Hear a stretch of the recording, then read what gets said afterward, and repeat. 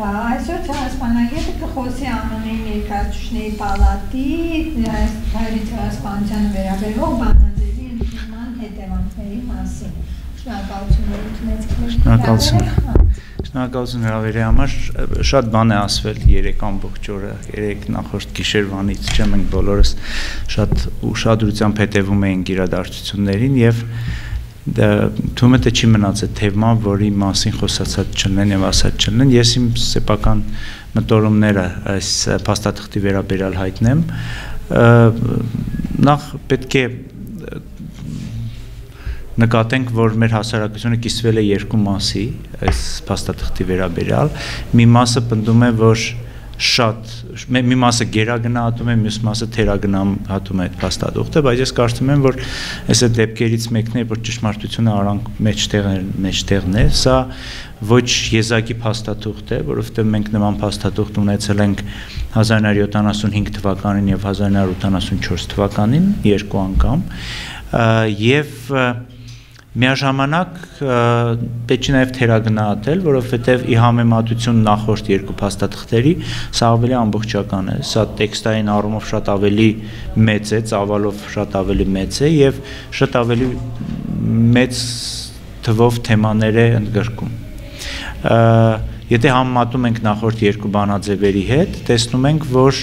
կամ մի թեմա մնացել է նույնը,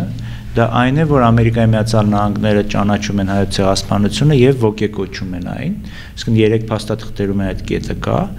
իսկ երկու նոր կետերը, որոնք ավելացել են այս բանաձևում, շատ հետաքրքիր են, շատ կարևոր են եւ արտացոլում են այն զարգացումները, որ տեղի ունեցել վերջի տարիներին, վերջի 10 ու 30 տարի անց է նախորդ փաստաթղթից ընդունումից։ Նախ երկրորդ կետով ասում է, որ Միացյալ Նահանգները այլևս չի ներգրավելու ժխտողական քաղաքականության մեջ եւ ոչ մի ձևով չի առնչվելու ժխտողականության հետ, հայոց ցեղասպանության ժխտողականության, կարծում եմ շատ կարևոր փաստ շատ կարևոր դրույթ է, որովհետեւ Միացյալ Նահանգներում ցավոք սրտի խոսքի ազատությունը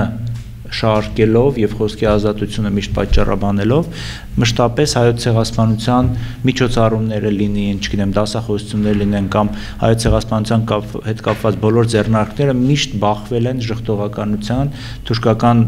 կազմակերպությունների կողմից խիստ հակահայկական դրսևորումների։ Այս փաստաթուղթը տալիս է մեր համայնքին, մեր կազմակերպությունների նահանգներում պայքարելու ձև, այսինքն ինքը հստակ կարող է ցույց տալ, որ այն գործողությունները, որ արվում են, ժխտողականությունը արվում է, դա ամերիկյան քաղաքականության դեմ է, որովհետև կա նման փաստաթուղթ, այսինքն գործնական օգտագործելի փաստաթուղթ։ Եվ եւ մյուսը, որը էլի շատ հստակ կարող է օգտագործվել ամենօրյա հա ռեժիմով, դա երրորդ կետն է, որով Միացյալ Նահանգները խրախուսում են կրթական եւ իրազեկման գործում հայոց ցեղասպանության ներդրումը, այսինքն հայոց ցեղասպանության ներկայացումը կրթական ծրագրերում, լինի դա համասարանական կրթական ծրագրերում, լինի դա դպրոցական ծրագրերում հայոց ցեղասպանության ներգրավումը։ Սա էլ է կարևոր, որովհետև շատ նահանգներ ունեն նման փաստաթուղթ, բայց շատ նահանգներում դա չի կատարվում տարբեր պատճառներով սկսած այն պատճառից որ պատճառաբանում են որ ճունեն ներուժ չգիտեն, չունեն գիտելիք, չունեն մարտիկ, ովքեր այդ թեման կդասավանդեն օրինակ, եւ վերջացնելով հստակ ժխտողականությամբ, թուրքական համայնքի ճնշմամբ եւ այլն։ Ահա այս փաստաթուղթերը պետական փաստաթուղթ, այսինքն օրենք չի իհարկե, իրավական ուժ չունի որպես այդպեսի շատ, բայց շատ մեծ քաղաքական կշիռ ունի եւ կարող է միշտ օգտագործվել, ենթադրենք այս կամ այն համասարանում հայոց ցեղասպանության դասընթաց մտցնելու դեպքում։ Այսինքն մարդիկ, ովքեր ուզում են դասընթաց մտցնել, նախկինում պետք է պատճառներ գտնեին եւ պատճառաբանեին։ Հիմա ուղղակի հղում կատարելով այս փաստաթղթի վրա հարցը շատ հեշտ կարելի է լուծել։ Եվ այս երկու կարևոր դրույթները գործնական շատ օգնում են մեր հայկական համայնքին։ Եվ կա նաև երրորդը, որի մասին մոռացա ասեի, դա այն է, որ Միացյալ Նահանգները ընդունել են փաստաթուղթ, որում նշում են, որ ճանաչում են հայոց ցեղասպանությունը։ Իհարկե ընդունել է խորհրդարանի ընդամենը մի պալատը, կոնգրեսի մի պալատը, իհարկե սենատը չի ընդունել նախագահան դեռ չի վավերացրել, չի հաստատել, բայց պետք է հասկանանք, որ դա արդեն պաշտոնական ընդունված փաստաթուղթ է եւ ամերիկյան դատական համակարգում ցանկացած ընդունված փաստաթուղթ կարող է կշիռ ունի եւ մենք գիտենք որ նահանգներում կամ հայցեր ներկայացված Թուրքիայի դեմ հայ քաղաքաց հայ Ամերիկայի քաղաքացիների կողմից եւ մի քանիսը մերժվել են այն պատճառաբանությամբ, որ Միացյալ Նահանգները չի ճանաչել ցեղասպանությունը, դրա համար ցեղասպանությունը չի կարող բերվել որպես հանգամանք այդ վեճերը քննելու դեպքում։ Հիմա կա փաստաթուղթ, որ կարող է ներկայացվի դատարանում եւ դատարանը դատարանին կշիռտի։ Այսինքն ինքը շատ ավելի գործնական հարցեր է լուծում ամերիկյան համայնքի համար։ Ինքը կոնկրետ Հայաստանի համար որպես այդպիսի հա ուղակի հարց չի լուծում, նու բարձր լուծում է այնքանով, որքանով թեման ճանաչվում է եւ այն նրա իրազեկումը բարձրանում է եւ դրանով նաեւ մենք մեր ազգային անվտանգության հարցեր ենք լուծում, բայց ինքը ուզում եմ նշեմ, որ ինքը զուտ ամերիկյան փաստաթուղթ է, ամերիկյան ներքին օգտագործման փաստաթուղթ է։ Եվ մի կարևոր տարբերություն ինքը ունի շատ այլ ճանաչման փաստաթղթերից։ Եթե նախքին, եթե շատ երկրներում նման փաստաթուղթ ընդունելու դեպքում մեծապես, ну շատերի մեջ կա հղում կոչ Հայաստանին եւ Թուրքիային հարաբերությունները բարելավել, այսինքն այս խնդիրները լուծել եւ այլն, սրանում ոչ մի հիշատակում Թուրքիայի չկա, այսինքն ինքը եւ Էրդողանի պատասխանը, որ երեք հնչեց, որ ասաց, որ Թուրքիայի համար այս փաստաթուղթը նշանակություն չունի եւ մենք չենք պատրաստում այն կիրառենք, իմ համար զարմանալի էր, չէ, զգայական համակարգով հասկանալի էր, բայց զարմանալի էր, որովհետեւ այս փաստաթուղթը չի նախատեսում։ Դա զուտ ներամերիկյան փաստաթուղթ է դա նրա այն բանի մասին ինչ դա կբերի Հայաստանին եւ ինչ ինչ կբերի հայերին Միացյալ Նահանգներին ինչ կբերի Հայաստանին Հայաստանի համար ցանկացած մի առիթ հայոց ցեղասպանությունը բարձրաձայնելու ցանկացած առիթ հայոց ցեղասպանությունը միջազգային մամուլի կամ միջազգային հանրության լսելի դարձնելը դա շատ կարևոր է ազգային անվտանգության տեսակետից որովհետև ամեն անգամ այդ թեման շրջանառելով մենք ավելի ապահովագրում ենք մեզ նման մեր հարևանի կողմից կոշտ քաղաքականությունից, որովհետև դա այն գործիքն է, որը իհարկե տվյալ դեպքում մենք չենք օգտագործում, օգտագործում է Միացյալ Նահանգները իր շահերի համար, բայց այնուամենայնիվ դա ուղղորդված ձևով նաև օգնում է մեզ, օգնում է թեման տակ բայել, օգնում է թեման շրջանառել։ Եվ սրա հետ կապված նաև մի բան, որ մի տեսակ տպավորություն էր ստեղծվում, թե թեման դուրս է եկել միջազգային քաղաքական ասպարեզից, որտեղ բավականին երկար ժամանակ 2015 թվականից հետո մենք ունեցանք մեկ մեծ ձեռքբերում, դա Գերմանիայի ճանաչումն էր 2016 թվականին, բայց դրանից հետո մի տեսակ թեման երկրորդ պլան մղվեց։ Այսինքն համաշխարհային քաղաքականության թիվ 1 թեմաներից չէր, այսինքն եւ այս առումով կար մտավախություն, որ միգուցե այդ 100-րդ տարելիցի բերած այդ մեծ ալիքը համաշխարհային ալիքը ինքը մարել է եւ այլևս թեման ոչ մեկին հետաքրքիր չի։ Այս ամերիկյան բանաձևը նորից թեման բերում է միջազգային օրակարգ, իսկ միջազգային օրակարգում գտնվելով մենք իրան մենք միշտ կարող ենք այն օգտագործել։ Մարի շահերի մասին չկար տավախություն, որ դա ուղղակի կլինի հերթական ճնշման փորձ ԱՄՆ-ի Թուրքիայի վրա եւ ի վերջո այդ բանաձևը չի քվեարկվի սենատում եւ չի Այո այո, նո մտավախություն չի, դա իրականություն է։ Ելույթ ունեցող մեծ մասը կոնգրես ներկայացուցիչների պալատի ներկայացուցիչների իրենք չէին այդ հակցնում, իրենք ասում էին, որ միշտ բերում էին օրինակ Սիրիան, բերում էին օրինակ քրդերի նկատմամբ վերաբերմունքը եւ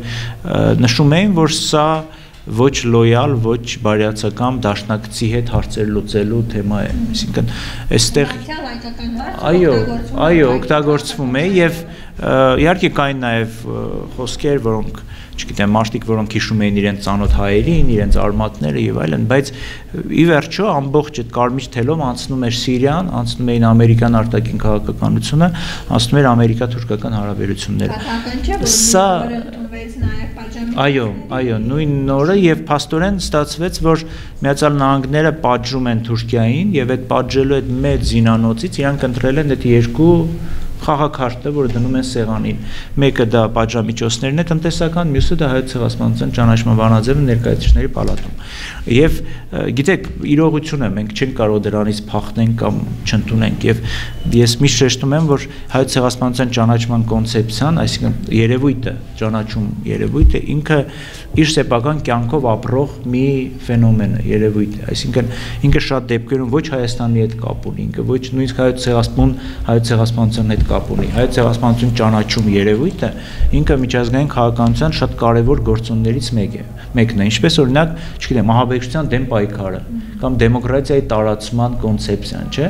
Էլի Միացյալ Նահանգները տարբեր երկրներում օգտագործում է։ Միտեղ օգտագործում է դեմոկրատիայի տարածում, միտեղ օգտագործում է ահաբեկչության դեմ պայքար, միտեղ օգտագործում է հայոց ցեղասպանության ճանաչում։ Եվ ինչ անենք մենք։ Մենք իրականում այդքան է շատ անելու բան չունենք, որովհետև մեզ ոչ ոք չի հարցնում, մենք սա կարող ենք օգտագործենք թե չէ, եւ դա մեր վերահսկողությունից դուրս է եկել։ Բայց այ օգտագործել հարմար առիթը եւ այս միջազգային բարենպաստ կոնյունկտուրան նաեւ այդ արանքում, հա, այդ միջոցում նաև մեր հարցերը լուծելու միշտ կարող ենք, որովհետև տեսեք փաստաթուղթը ընդունվեց, չէ ներկայացուցիչների պալատում։ Եթե նույնիսկ սենատում փաստաթուղթ չընդունվի, հա, իմիջիայլոց սենատում քննարկվում է այլ փաստաթուղթ։ Այս փաստաթուղթը իր վերջնական նպատակը այստեղ ընդունվելն էր, այսինքն կարելիվս չի գնալու սենատ։ Սա վերջն է այս փաստաթղթի եւ շատ լավ է իմիջիայլոց։ Սա, գիտեք, ամերիկյան իրավական համակարգը այսպես է աշխատում։ Այս փաստաթուղթը չի կարող չեղարկվել։ Ինքը արդեն կա եւ կմնա պատմության մեջ։ Այո, ինքը մնում է որպես ընդունված փաստաթուղթ։ Սենատում մենք առաջարկում ենք ուրիշ փաստաթուղթ, որը ուրիշ բովանդակություն ունի։ Ես ճիշտ ասած չեմ հավատում Սենատի ընդունվելու հետ կապված, նաեւ այնտեղ կա պրոցեդուրային տարբերություն։ Եթե այս դեպքում պահանջվում էր մեծամասնություն քվեարկության, որը հնարավոր եղավ հասնել, Սենատում պահանջվում Սենատում քվեարկությունը մի քիչ ուրիշ է։ Սենատում ամեն մի падգամավոր ունի վետոյի իրավունք այդ 100 սենա սա 100 սենատորներից յուրաքանչյուրը կարող է վետո դնի։ Այսինքն հավներ պիտի Այո, կամ գոնե դեմ չկվերքեն կամ վետո չդնեն մենք իմիջիայլոց այդ մենք օգտագործել ենք մենք հայերս դա եթե հիշում եք բանի հետ կապված Մեթյու Բրայզայի հետ կապված մենք օգտագործեցինք դա եւ Մենենդեսը դա դրեց այսինքն ուզում եմ ասել որ այնտեղ հա բայց հիմա Այո, բայց այստեղ կա, տեսեք, ասում ենք անհավանական, բայց թվերն էին տպավորի 405-11-ի, որը հիմա տեղի ունեցավ, դա ցույց է տալիս այն վերաբերմունքը, որ ամերիկյան էլիտայի մոտ կա Թուրքիայի նկատմամբ։ Այդ 405-ի մեջ կան մարդիկ, որոնք տարիներ շարունակ սնվեև կերակրվել են թուրքական լոբիի միջոցով։ Գումարներ են ստացել, Թուրքիային գնացել, բայց հիմա ըստ երևույթի քաղաքական հրամայականը հենց պետական, համապետական այնպես է, որ իրենք տարբերակ չունեին չկվարկելու։ Հիմա երկու շաբաթից Էրդողանը գալիս է Վաշինգտոն։ Ես նաև կապում եմ կապում եմ չեղարկել չի կարող լինի, որովհետև չկա նման պրոցեդուրա, բայց հա, այցի մասին եք ասում, ինձ թվաց փաստաթղթի։ Տեսեք, ես կարծում եմ, որ նաև սրա համար է տրամաբանությունը հիմա ընդունելու, որովհետև իմ պատկերացմամբ Միացյալ Նահանգները ցույց է տալիս, որ այս մի խաղակարտը դրեց, Բայց մենք նաև ունենք երկրորդ խաղակարգ Սենատը եւ մենք ի վերջո ունենք ապրիլ 24-յան նախագահի ելույթը եւ սա սակարկության սեանին դնելու սակարկության բաներից մեկն է իմ պատկերացմամբ համենայն դեպս եւ այդ առումով մենք մեծ գլոբալ խաղի մաս ենք դարձել, դառնում եւ ելի եմ կրկնում ուզենք թե չուզենք մեր դուրը կա դա կամ գա թե չգա, դա է աշխարհը եւ պետք է դրա հետ համակերպվենք եւ դրա հետ կապված մեծ խաղի հետ կապված մի հետաշքիր բան եք ուզենամ նշեմ երկու խոշորագույն հրեական կազմակերպություններ սատարեցին միջև ընդունումը եւ հակադեֆամացիոն լիգան սատարեց եւ հրեական կոնգրես հրեական կոմիտեն կազմակերպությունը բան արեցին սատարեցին որ էլի հետաքրքիր ազդակներ են, մեսիջներ են, որ մեզ գալիս է այդ ամերիկյան վերնախավից։ Եվ ես կարծում եմ, որ այդ դա այդ մեսիջները կարող են շատ լավ օգտագործվեն այսօրվա Հայաստանի ղեկավարության կողմից, որովհետև եկեք եկենք ընդունենք, որ Հայաստանի նոր ղեկավարությունը Եվ նաև նախորդ ղեկավարության այդ վերջի շրջանում ամերիկյան քաղաքական օրակարգ չունեին, չկար։ Հայ-ամերիկյան քաղաքական օրակարգ գոյություն չունի։ Դրա համար պատահական չի, որ ոչ մի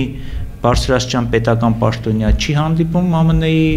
նախագահի կամ փոխնախագահի հետ նման ներկայացական այցեր չեն կատարվում, որովհետև վերջին հաշվով գնան ինչի մասին խոսեն, եթե չկա օրակարգ, հարցեր չունենք քննարկելու։ Եվ ես կարծում եմ, որ այս 405-ով կողմ քվեարկելը ցույց է տալիս, որ մենք կարող հիմա կարող ենք հետաքրքիր լինենք Միացյալ Նահանգների համար եւ միգուցե հիմա հենց այն ժամանակն է, որ մենք կարող ենք ձևակերպենք մեր օրակարգը եւ ներկայացնենք նահանգներին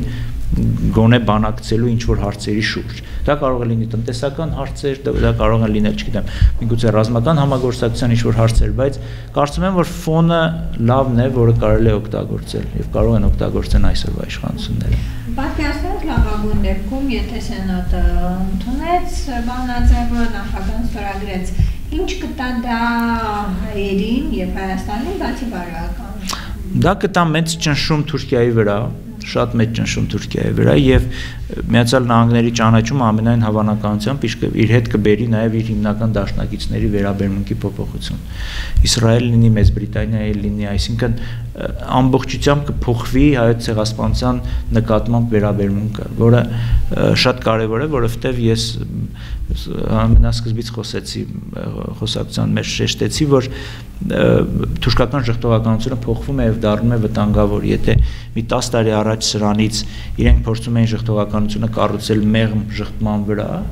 այսպես ասած, նո ընդհանուր ցավի կոնցեպցիա էին առաջարկում, առաջարկում էին, որ համատեղ ողբերգություն է եւ թուրքեր են մահացել եւ հայեր են մահացել։ Նույնիսկ նույն համայնքին ցավակցություններ էր հայտնում նախագահան, Թուրքիայի ժամանակվա վարչապետը, այսօրվա նախագահան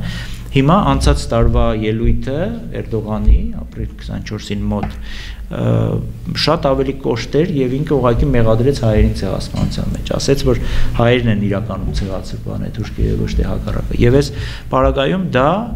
մեր համար որպես ժողովրդի դառնում է իրոք ազգային անվտանգության խնդիր եւ մենք դրա համար այդ ճանաչման process-ի ընդլայնումը միշտ ուժեղացնում է մեր դիրքերը աշխարհում մեկ եւ մենք կարողանում ենք այդ մեր ազգային անվտանգության խնդիրը լուծենք։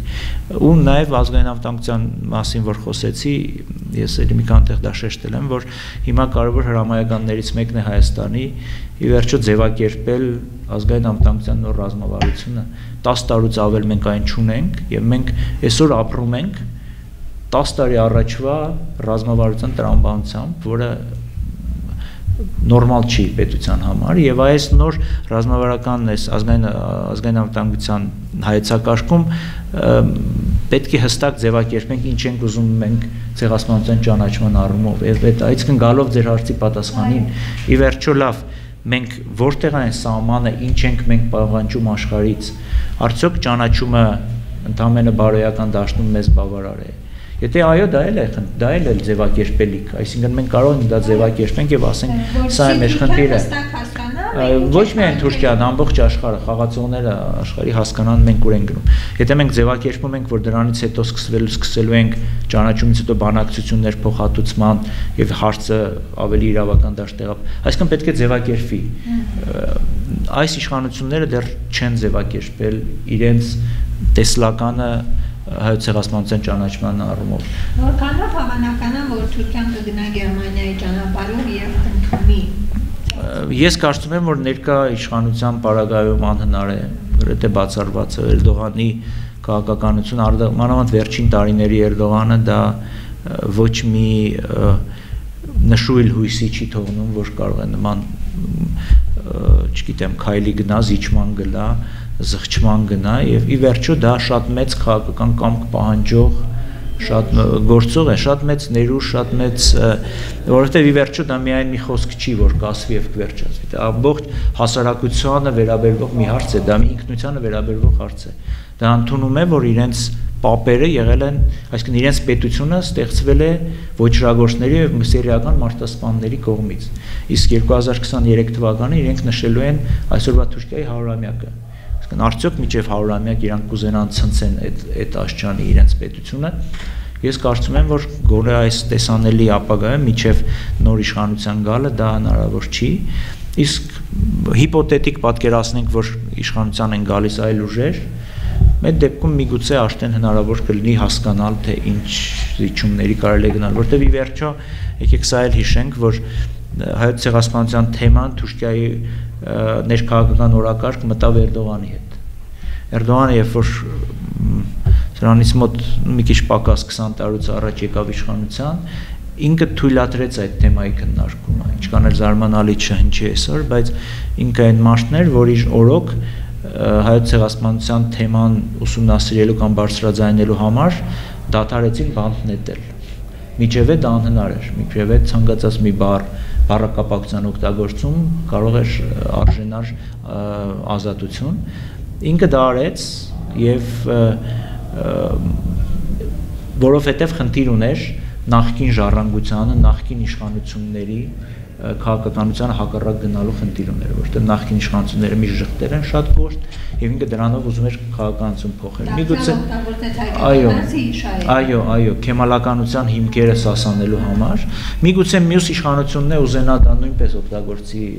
Էրդողանի դեմ եւ ինչ-որ քայլերի գնան, բայց ճիշտ ասած այսօրվա դասավորվածություն Թուրքիայի այդքան շատ հույս եւ լավատեսություն չի թողնում։ Ինչը։ Լավ խոսա։ Հա, հա, հա, գիտեմ։ Նրանց խոսնակը քիչ առաջ ասել է, որ շարունակեն մեզ հենց ասած բզբզան, մեր բոլոր երեխաներ, երկրում բոլոր երեխաների անունները դնել ենք Թալիա, Դենվեր ու Ջերման, այդ Հա, այսինքն սա նշանակում, հա, դա շատ լավ հարցեր իմ իմ ասացի շարունակությունն, այսինքն ես ենթադրեցի, որ միգուցե իշխանության փոփոխությունը բերի ինչ որ դրական ույսերի, բայց չի բացառում նաև հակառակը, որտեվ այդ թուրքական ներքաղաքական ներքնաբնակը շատ շատ բան է, խայտաբղետ է եւ նույն էս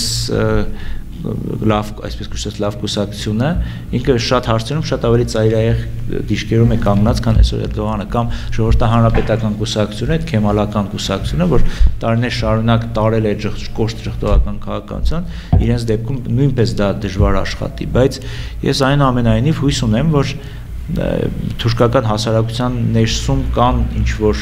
ուժեր, որոնք միգուցե ոչ հիմա, բայց Էրդողանի այս նման կոշտ քաղաքականության որպես արձագանք կձևավորեն այլ ուժ, որը, չգիտեմ, գուցե ավելի ցախակոմյան, ավելի լիբերալ, այսինքն ուրիշ կամ ուժ կլինի, որը այլ խնդիրներ կարողանա տնի։ Բայց ճիշտ հարց եք տալիս, որովհետև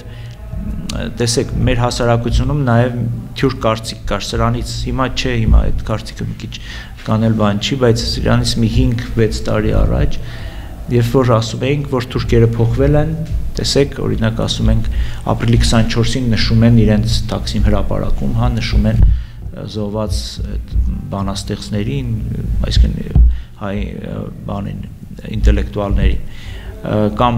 ներողության արշավ գնաց սրանից մի 10 տարի հետո հիշում եք այսինքն մեզ թվում էր որ այդ մարդկանց թիվը քրիտիկական շատ է, բայց հակառակը ստումա դա շատ փոքրիկ փոքրավասնություն է։ Այսինքն նրա մարդիկ, ովքեր իրոնք արտարև փորձ ճանաչում են հայոց ցեղասպանությունը բայց իմ ասածը այդ քաղաքականության փոփոխության շատ ավելի այդ դեր ասած օգտագործումն է քաղաքականության մեջ թեման օգտագործել Էրդողանին դեմ, հա, Էրդողանին վնասող ինչ որ մի բան անելու համար այդ բարագան չգիտեմ, կարծում եմ չեմ ուզում բացառեմ, կարծում եմ դա հնարավոր տարբերակ է։ Հայկական կողմը պատրաստ է ինչ-որ կոնկրետ պահանջ ներկայացնել։ Չեմ կարծում, չեմ կարծում, որ մենք ունենք ձևակերպած այդ պահանջը։ Պետք է համա, համահայկական հրճակագիր ընդունվեց 2015 թվականի հունվարին եւ ինքը նաեւ այդ հրճակագրում կար դրույթ, որ պետք է պատրաստվի այդ այդ թղթածր ոնց է փաթեթն էին ասում, թե թղթածրարն էին ասում հայ ցեղասպանության պահանջների, բայց ես ճիշտն ասած չկան գիտ չեմ էլ լսել որ դրան վերաբերյալ ինչ-որ աշխատանք տարվի այսինքն դա շատ դեկլարատիվ ինչ-որ մի բան էր միգուցե 15 թվին ինչ-որ աշխատանք տարվեց բայց հետո այդպես էլ մնաց այսինքն մենք մեր պահանջները չենք ձևակերպել միգուցե նաև չենք էլ ուզում ձևակերպել եւ քանի դեռ ինքը անորոշ է միշտ կարելի է իրեն ցանկացած ձևի օգտագործել եւ վերջո քաղաքականությունն է քաղաքականության մեջ դա քաղաքականությունը շատ դեպքերում ձերքերի ազատություն է սիրում եւ դրա համար հստակ ձևակերպում չենք ուզում տանք բայց ի վերջո ճիշտ եք ասում պիտի մենք հասկանանք ինչ ենք ուզում որն է մեր այդ վերջնանպատակը որն է որտեվ եթե դու վերջնանպատակ չունես աշխատանքը այդ ճանապարհը երբեք ճիշտ ճանապարհ չես գտնի է դրան գնալու ինստիտուտը որոնք ունեն ուսումնասիրություն ոչ միայն ասենք թե մարդկային ծովերի մասին, այլ նաև ուրիշ կորուստների մասին, այդ թվում ֆինանսական, տարածքային։ Տեսեք, ցեղասպանության թանգարանը չէ, բայց ես գիտեմ որ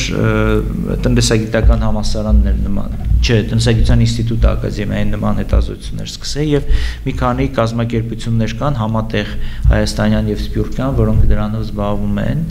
եւ կամ նույնիսկ մի քանի զեկույց կա հստակ թվերով նշված թե ինչ չափի փոխհատուցում պետք է պահանջել։ Այսինքն թվեր կան, մի քանի կազմակերպություն դա արել են, այսինքն տեսականորեն նույնիսկ եթե վաղը մեզանից հաշիվ պահանջեն, ասեն, լավ, ինչքան պետքա ձեզ վճարի, որ հարցը փակվի, կան թվեր, այսինքն հաշվարկներ կան արված եւ այսինքն հաշվարկել են այն կուրսով, որը տեսեք 18 թվականին առաջ աշխարհամարտի ավարտից հետո գումարվեց Փարիզի խաղաղության կոնֆերանսը եւ 19 թվականին գումարվեց կոնֆերանսը եւ հայերը պատվիրակություն ուղարկեցին։ Այդ պատվիրակությունը ուներ հաշվարկը արված եւ այսօրվա մեր հաշվարկները մեծապես հիմնված են դրա վրա եւ դրանից բխող այսպես կոչված չստացված օգուտը, որովհետեւ այդ տարիներ շարունակ այդ ամեն ինչը կարող էր օգուտ բերել եւ չբերել։ Եվ գիտեմ որ հաշվարկ կա, հիմա չեմ հիշի հստակ թիվը, բայց կա հաշվարկը հստակ նաև ինֆլյացիան հաշվելով այդ տարիների միլիարդ, հա, շատ, շատ նույնիսկ բանը նույնիսկ ինֆլյացիայով էին հաշվային ժամանակվա կուրսը վերածել էին այսօրվա կուրսին կա նման հաշվարկվել։ Խոսքով փոխվում։ Պրոցեսը հա։ սկսված է, բայց մենք դեռ ճանապարհի սկզբում ենք եւ շատ անենք։ Այո, ճիշտն ասած, այդ այդ առումով ես որ ասում եմ, պետք է քաղաքականություն ձևավորենք։ Ես մի քիչ այսօրվա իշխանությունների մոտ пассивություն եմ նկատում այդ։ Ինչ թվում է, որ այդ թեման իրենց հետ կանե չի հետաքրքրում։ Ոչ թե չի հետաքրքրում, սխալ ասցի։ Իրենք չեն հավատում այդ թեմայի ներուժին, որ ինքն կան ներուժ ունի, որ ինքն կարելի է օգտագործել որպես գործիք։ Նախկին իշխանությունները օգտագործում էին, բայց նախկին իշխանությունները օգտագործումը մի քիչ ուրիշ երբան ուներ, պատճառ ուներ, իրենք լեգիտիմության պակաս ունեին նախկին իշխանությունները։ Որպես միավորող։ Հա, որպես միավորող, որպես իրանց լեգիտիմը բարձրությունը բարձրացնող թեմա շատ լավ օգտագործում էին։ Միշտ քրիտիկական պահերին այդ թեման նետվում էր դաշտ, այդ թեման քննարկվում էր եւ ներկայ իշխանությունները չունեն լեգիտիմության պահակաս։ Իրենք ստացել են իրենց քվեները ազնիվ մակուր ընտրություններում եւ իրենք լեգիտիմությունը լրացրել են ընտրությունների միջոցով։ Եվ այդ առումով կարծում եմ, որ թեման դրա համար դեռ ձևակերպված չի, չգիտեմ, վարչապետի մոտ, իշ թիմի մոտ, եւ այդ ամբողջ քաղաքականությունը մեր որ մենք այսօր տանում ենք դա իներցիոն նախկինից եկած արտգործնախարարության իրականացրած քաղաքականությունն է նույն արտգործնախարարությունը այն ժամանակ ինչ արել է հիմա ուղղակի շարունակում է քանի որ փորձ ունի մասնագետներ ունի եւ այսինքն աշխատանք արդեն արված, շարունակվում է այդ աշխատանքը, բայց նոր լուծումներ ես ամենայն դեպս չեմ նկատում։ Ձեզ շնորհակալություն։ Ձեզ շնորհակալություն։ Ահ, ես ժամը վերջացրիք, շատ լավ է։ Կոստյան։ Չէ, Չէ, հաջողություն ասեի, գնայս։ Ես կփոխանցեմ իրական։ Շնորհակալություն ձեզ։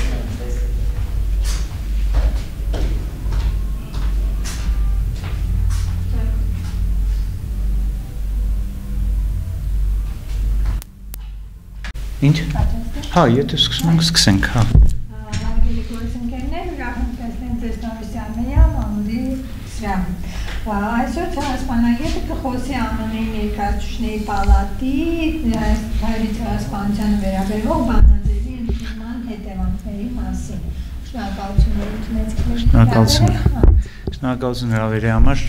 շատ բան է ասվել 3 ամբողջ օրը, 3 նախորդ գիշերվանից, չէ՞ մենք բոլորս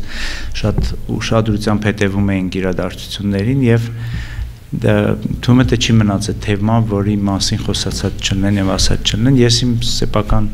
մտորումները այս փաստաթղթի վերաբերյալ հայտնեմ։ Նախ պետք է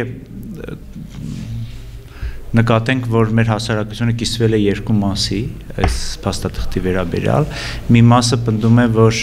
շատ մի մասը գերագնահատում է, մյուս մասը թերագնահատում է այդ փաստաթուղթը, բայց ես կարծում եմ, որ այս այդ դեպքերից մեկն է, որ ճշմարտությունը արանք մեջտեղ մեջտեղն է, սա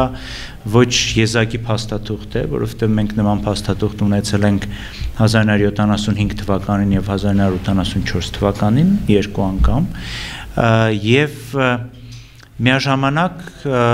պետք է նաև թերագնահատել, որովհետև ի համեմատություն նախորդ երկու փաստաթղթերի սա ավելի ամբողջական է, սա տեքստային առումով շատ ավելի մեծ է, ծավալով շատ ավելի մեծ է եւ շատ ավելի մեծ թվով թեմաներ է ընդգրկում։ Եթե համեմատում ենք նախորդ երկու բանաձևերի հետ, տեսնում ենք, որ կամ մի թեմա մնացել է նույնը, դա այն է, որ Ամերիկայի Միացյալ Նահանգները ճանաչում են հայոց ցեղասպանությունը եւ ոգեկոչում են այն։ Իսկ երեք փաստաթղթերում այդ կետը կա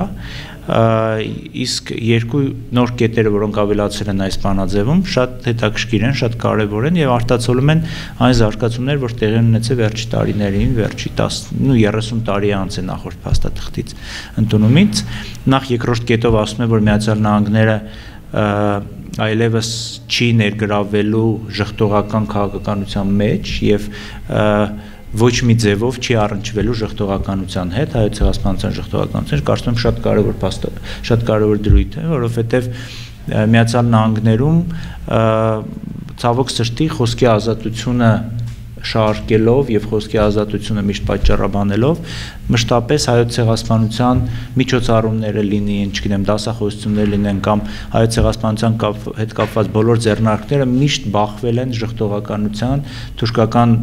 կազմակերպությունների կողմից խիստ հակահայկական դրսևորումների, այս փաստաթուղթը տալիս է մեր համայնքին, մեր կազմակերպությունների նահանգներում պայքարելու ձև, այսինքն ինքը հստակ կարող է ցույց տալ, որ այն գործողությունները, որ արվում են, ժխտողականությունը արվում է, դա ամերիկյան քաղաքականության դեմ է, որովհետև կա նման փաստաթուղթ, այսինքն գործնական օգտագործելի փաստաթուղթ։ Եվ եւ մյուսը, որը էլի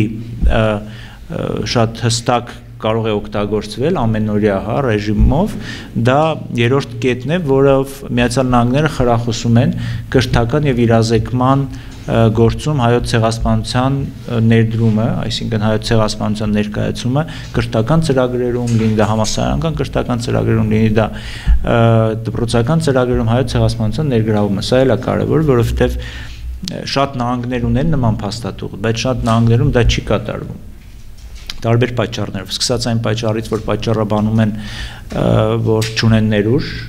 չգիտեն, չունեն գիտելիք, չունեն մարտիկ, ովքեր այդ թեման կդասավանդեն օրինակ, եւ վերջացնելով հստակ ժխտողականությամբ, թուրքական համայնքի ճնշմամբ եւ այլն։ Ահա այս փաստաթուղթերը պետական փաստաթուղթ, այսինքն օրենք չի իհարկե, իրավական ուժ չունի որպես այդպեսի շատ, բայց շատ մեծ քաղաքական կշիռ ունի եւ կարող է միշտ օգտագործվել, ենթադրենք այս կամ այն համասարանում հայոց ցեղասպանության դասընթաց մտցնելու դեպքում։ Այսինքն մարդիկ, ովքեր ուզում են դասընթաց մտցնել, նախկինում պետք է պատճառներ գտնեին եւ պատճառաբանեին։ Հիմա ուղղակի հղում կատարելով այս փաստաթղթի վրա հարցը շատ հեշտ կարելի է լուծել։ Եվ այս երկու կարևոր դրույթները գործնական շատ օգնում են մեր հայկական համայնքին։ Եվ կա նաև երրորդը, որի մասին մոռացա ասեի, դա այն է, որ Միացյալ Նահանգները ընդունել են փաստաթուղթ, որում նշում են, որ ճանաչում են հայոց ցեղասպանությունը։ Իհարկե ընդունել է խորհրդարանի ընդամենը մի պալատը, կոնգրեսի մի պալատը, իհարկե սենատը չի ընդունել նախագահան դեռ չի վավերացրել, չի հաստատել, բայց պետք է հասկանանք, որ դա արդեն պաշտոնական ընդունված փաստաթուղթ է եւ ամերիկյան դատական համակարգում ցանկացած ընդունված փաստաթուղթ կարող է կշիռ ունի եւ մենք գիտենք որ նահանգներում կամ հայցեր ներկայացված Թուրքիայի դեմ հայ քաղաքաց հայ Ամերիկայի քաղաքացիների կողմից եւ մի քանիսը մերժվել են այն պատճառաբանությամբ, որ Միացյալ Նահանգները չի ճանաչել ցեղասպանությունը, դրա համար ցեղասպանությունը չի կարող բերվել որպես հանգամանք այդ վեճերը քննելու դեպքում։ Հիմա կա փաստաթուղթ, որ կարող է ներկայացվի դատարանում եւ դատարանը դատարանին կշիռտա։ Այսինքն ինքը շատ ավելի գործնական հարցեր է լուծում ամերիկյան համայնքի համար։ Ինքը կոնկրետ Հայաստանի համար որպես այդպիսի հա ուղակի հարց չի լուծում, նու բարձր լուծում է այնքանով, որքանով թեման ճանաչվում է եւ և այն նրա իրազեկումը բարձրանում է եւ դրանով նաեւ մենք մեր ազգային անվտանգության հարցեր ենք լուծում, բայց ինքը ուզում եմ նշեմ, որ ինքը զուտ ամերիկյան փաստաթուղթ է, ամերիկյան ներքին օգտագործման փաստաթուղթ է։ Եվ մի կարևոր տարբերություն ինքը ունի շատ այլ ճանաչման փաստաթղթերից։ Եթե նախքին, եթե շատ երկրներում նման փաստաթուղթ ընդունելու դեպքում մեծապես, ну շատերի մեջ կա հղում կոչ Հայաստանին եւ Թուրքիային հարաբերությունները բարելավել, այսինքն այս խնդիրները լուծել եւ այլն, սրանում ոչ մի հիշատակում Թուրքիայի չկա, այսինքն ինքը եւ Էրդողանի պատասխանը, որ երեք հնչեց, որ ասաց, որ Թուրքիայի համար այս փաստաթուղթը նշանակություն չունի եւ մենք չենք պատրաստում այն կիրառենք, իմ համար զարմանալի էր, չէ, զգայական համակարգով հասկանալի էր, բայց զարմանալի էր, որովհետեւ այս փաստաթուղթը չի նախատեսում։ Դա զուտ ներամերիկյան փաստաթուղթ է դա նրա այն բանի մասին ինչ դա կբերի Հայաստանին եւ ինչ ինչ կբերի հայերին միացյալ նահանգներին ինչ կբերի Հայաստանին Հայաստանի համար ցանկացած մի առիթ հայոց ցեղասպանությունը բարձրաձայնելու, ցանկացած առիթ հայոց ցեղասպանությունը միջազգային մամուլի կամ միջազգային հանրության լսելի դարձնելը դա շատ կարևոր է ազգային անվտանգության տեսակետից, որովհետև ամեն անգամ այդ թեման շրջանառելով մենք ավելի ապահովագրում ենք մեզ նման մեր հարևանի կողմից կոշտ քաղաքականությունից, որովհետև դա այն գործիքն է, որը իհարկե տվյալ դեպքում մենք չենք օգտագործում, օգտագործում է Միացյալ Նահանգները իր շահերի համար, բայց այնուամենայնիվ դա ուղղորդված ձևով նաև օգնում է մեզ, օգնում է թեման տակ բայել, օգնում է թեման շրջանառել։ Եվ սրա հետ կապված նաև մի բան, որ մի տեսակ տպավորություն էր ստեղծվում, թե թեման դուրս է եկել միջազգային քաղաքական ասպարեզից, որտեղ բավականին երկար ժամանակ 2015 թվականից հետո մենք ունեցանք մեկ մեծ ձեռքբերում, դա Գերմանիայի ճանաչումն էր 2016 թվականին, բայց դրանից հետո մի տեսակ թեման երկրորդ պլան մղվեց։ Այսինքն համաշխարհային քաղաքականության թիվ 1 թեմաներից չէր, այսինքն եւ այս առումով կար մտավախություն, որ միգուցե այդ 100-րդ տարելիցի բերած այդ մեծ ալիքը, համաշխարհային ալիքը ինքը մարել է եւ այլևս թեման ոչ մեկին հետաքրքիր չի։ Այս ամերիկյան բանաձևը նորից թեման բերում է միջազգային օրակարգ, իսկ միջազգային օրակարգում գտնվելով մենք իրան մենք միշտ կարող ենք այն օգտագործել։ Մարի շահերի մասին. Չկար տավախություն, որ դա ուղղակի կլինի հերթական ճնշման փորձ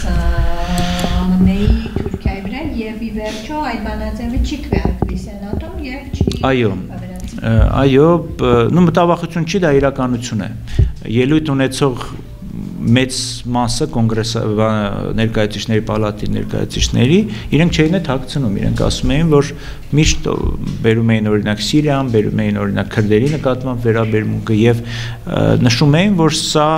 ոչ լոյալ, ոչ բարյացակամ դաշնակցի հետ հարցեր լուծելու թեմա է։ Այսինքն, այստեղ այո, այո, օգտագործվում է եւ իհարկե կային նաեւ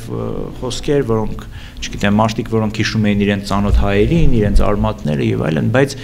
ի վերջո ամբողջ այդ կարմիր թելով անցնում էր Սիրիան, անցնում էին ամերիկյան արտաքին քաղաքականությունը, անցնում էր ամերիկա-թուրքական հարաբերությունները։ Սա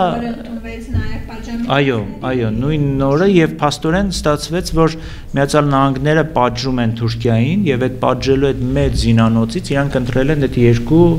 խաղակարտը, որը դնում են սեղանին։ Մեկը դա պատժամիջոցներն է տնտեսական, մյուսը դա հայոց ցեղասպանության ճանաչման վանաձևը ներկայացուցիչների պալատում։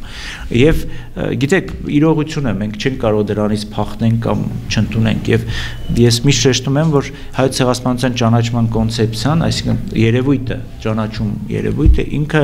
իր սեփական կյանքով ապրող մի ֆենոմեն է, երևույթ է։ Այսինքն ինքը շատ դեպքերում ոչ Հայաստանի հետ կապ ունի, ինքը ոչ նույնիսկ հայոց ցեղասպան, հայոց ցեղասպանության հետ կապ ունի։ Հայոց ցեղասպանություն ճանաչում երևույթը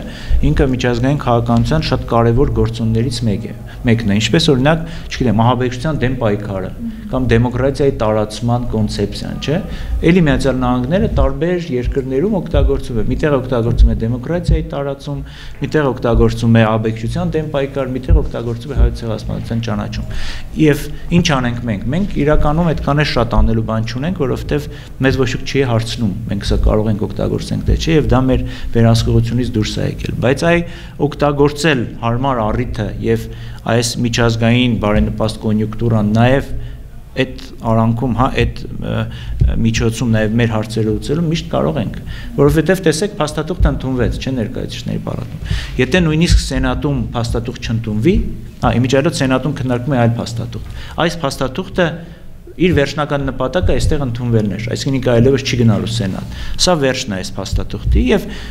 շատ լավ է իմիջիայլոց։ Սա, գիտեք, ամերիկյան իրավական համակարգը այսպես է աշխատում։ Այս փաստաթուղթը չի կարող չեղարկվել։ Ինքը արդեն կա եւ կմնա պատմության մեջ։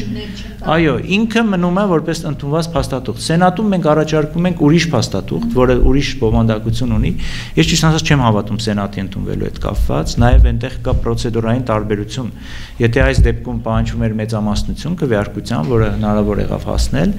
Սենատում պահանջվում Սենատում քվեարկությունը մի քիչ ուրիշ է։ Սենատում ամեն մի падգամավոր ունի վետոյի իրավունք այդ 100 սենա 100 սենատորներից յուրաքանչյուրը կարող է վետո դնի։ Այսինքն հավներ պիտի Այո, կամ գոնե դեմ չկվերքեն կամ վետո չդնեն մենք իմիջիալից այդ մենք օգտագործել ենք մենք հայերս դա եթե հիշում եք բանի հետ կապված մեթյու բրայզայի հետ կապված մենք օգտագործեցինք դա եւ մենենդեսը դա դրեց այսինքն ուզում եմ ասել որ այնտեղ հա բայց հիմա Այո, բայց այստեղ կա, տեսեք, ասում ենք անհավանական, բայց թվերն էին տպավորի 405-11-ի, որը հիմա տեղի ունեցավ, դա ցույց է տալիս այն վերաբերմունքը, որ ամերիկյան էլիտայի մոտ կա Թուրքիայի նկատմամբ։ Այդ 405-ի մեջ կան մարդիկ, որոնք տարիներ շարունակ սնվեև կերակրվել են թուրքական լոբիի միջոցով։ Գումարներ են ստացել, Թուրքիային գնացել, բայց հիմա ըստ երևույթի քաղաքական հրամայականը հենց պետական, համապետական այնպես է, որ իրենք տարբերակ չունեին չկվարկելու։ Հիմա երկու շաբաթից Էրդողանը գալիս է Վաշինգտոն։ Ես նաև կապում եմ կապում եմ չեղարկել չի կարող լինի, որովհետև չկա նման պրոցեդուրա, բայց հա, այցի մասին եք ասում, ինձ թվաց փաստաթղթի։ Տեսեք, ես կարծում եմ, որ նաև սրա համար է տրամաբանությունը հիմա ընդունելու, որովհետև իմ պատկերացմամբ Միացյալ Նահանգները ցույց է տալիս, որ այս մի խաղակարտը դրեց, Բայց մենք նաև ունենք երկրորդ խաղակարգ Սենատը եւ մենք ի վերջո ունենք ապրիլ 24-յան նախագահի ելույթը եւ սա սակարկության սեանին դնելու սակարկության բաներից մեկն է իմ պատկերացմամբ համենայն դեպս եւ այդ առումով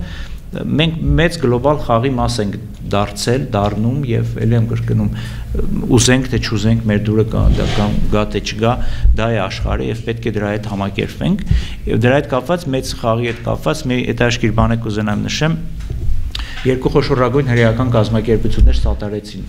միջև ընդունումը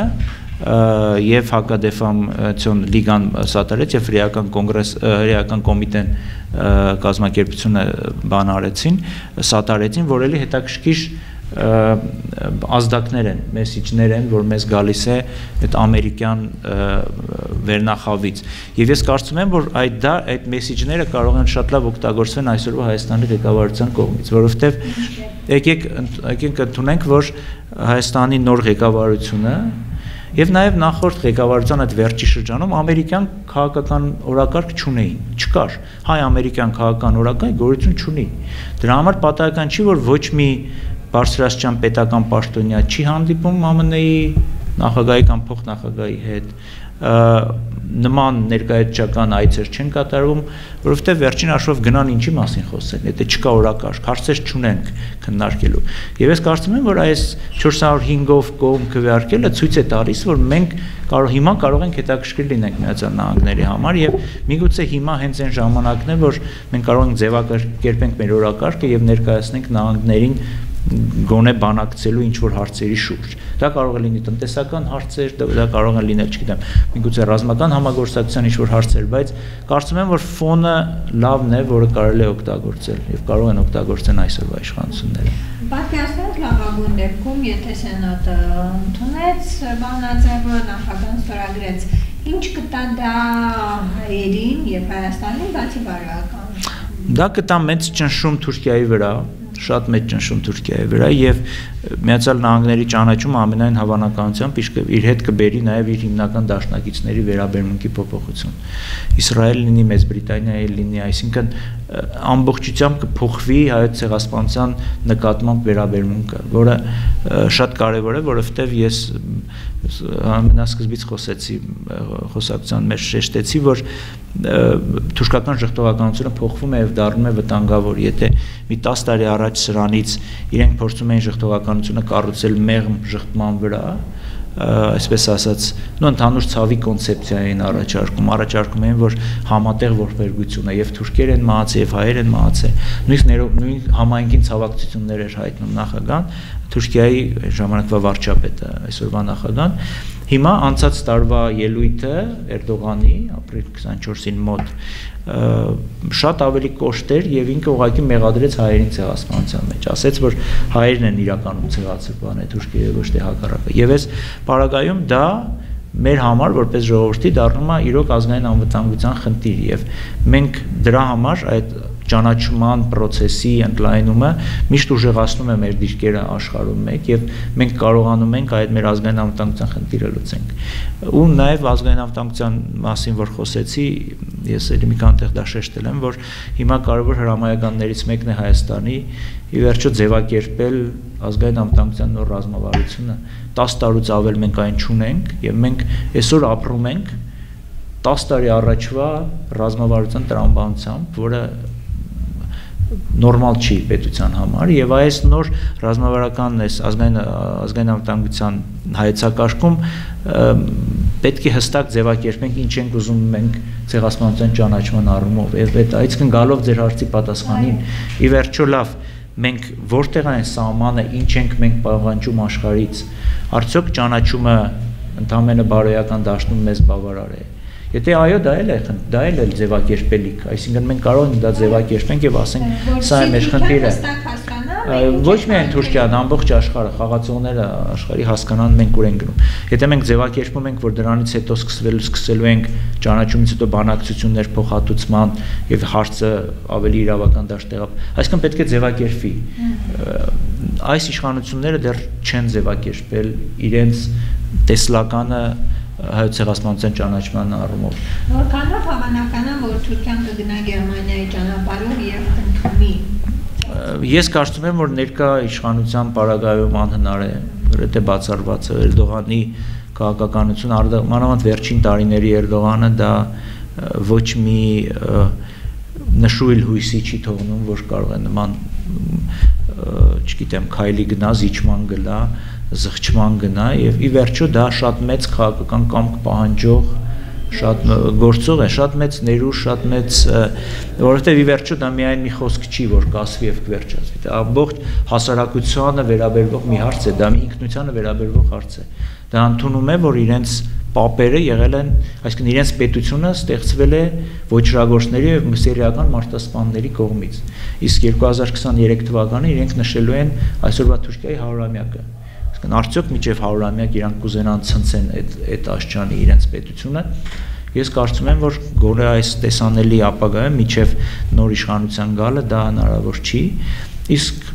հիպոթետիկ պատկերացնենք, որ իշխանության են գալիս այլ ուժեր, այդ դեպքում միգուցե արդեն հնարավոր կլինի հասկանալ, թե ինչ զիջումների կարելի է գնալ, որտեղ ի վերջո եկեք սա էլ հիշենք, որ հայոց ցեղասպանության թեման Թուրքիայի ներքաղաքական օրակարգ մտավ Էրդողանի հետ։ Էրդողանը երբ որ սրանից մոտ մի քիչ պակաս 20 տարուց առաջ եկավ իշխանության, ինքը թույլատրեց այդ թեմայի քննարկումը, ինչքան էլ զարմանալի չհնչի այսօր, բայց ինքը այն մասն էր, որ իր օրոք հայոց ցեղասպանության թեման ուսումնասիրելու կամ բարձրաձայնելու համար դադարեցին բանտ նետել։ Միջև է դա անհնար էր, միջև է ցանկացած մի բառ բառակապակցության օգտագործում կարող էր արժենար ազատություն ինքը դա արեց եւ որովհետեւ խնդիր ուներ նախկին ժառանգությանը, նախկին իշխանությունների քաղաքականությանը հակառակ գնալու խնդիր ուներ, որտեղ նախկին իշխանությունները մի շղթեր են շատ կոշտ եւ ինքը դրանով ուզում էր քաղաքականություն փոխել։ Միգուցե այո, այո, այո, քեմալականության հիմքերը սասանելու համար, միգուցե մյուս իշխանությունն է ուզենա դա նույնպես օգտագործի Էրդողանի դեմ եւ ինչ-որ քայլերի գնան, բայց ճիշտ ասած այսօրվա դասավորվածությունը Թուրքիայի այդքան շատ հույս եւ լավատեսություն չի թողնում։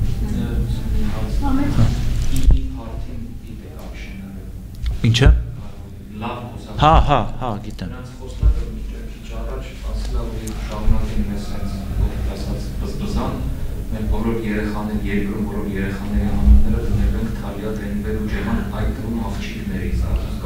Հա, այսինքն սա նշանակում, հա,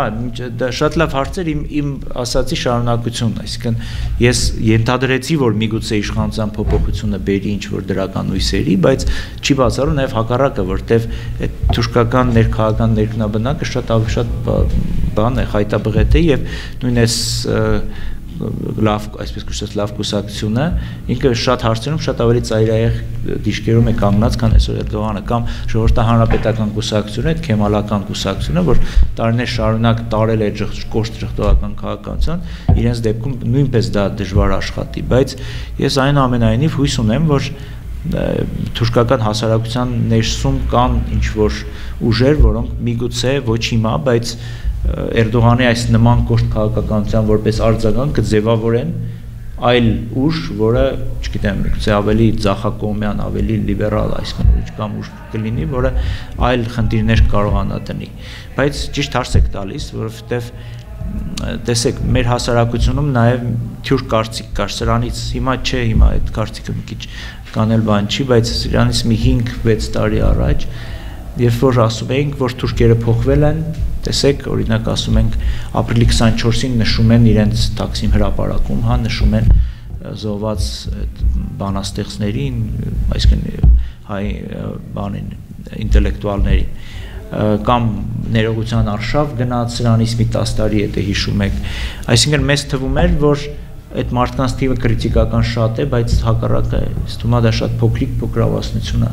Այսինքն նրա մարդիկ, ովքեր իրոնք արտարև փորձ ճանաչում են հայոց ցեղասպանությունը բայց իմ ասածը այդ քաղաքականության փոփոխության շատ ավելի այդ դեր ասած օգտագործումն է քաղաքականության մեջ թեման օգտագործել Էրդողանին դեմ, հա, Էրդողանին վնասող ինչ որ մի բան անելու համար այդ պարագան չգիտեմ, կարծում եմ չեմ ուզում բացառեմ, կարծում եմ դա հնարավոր տարբերակ է։ Հայկական կողմը պատրաստ է ինչ-որ կոնկրետ պահանջ ներկայացնել։